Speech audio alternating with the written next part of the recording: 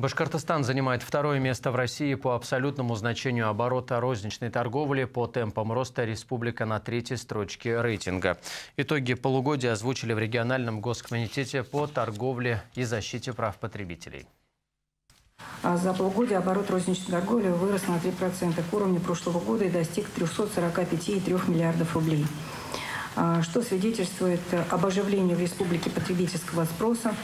И это мы видим после двухлетнего падения товарооборота. Оборот розничной торговли на душу населения вырос с начала года на 7% по отношению к прошлому и составил без малого 85 тысяч рублей, сообщили в Госкомитете. Суммарно оптовый и розничный оборот увеличился на 18% и превысил 717 миллиардов рублей.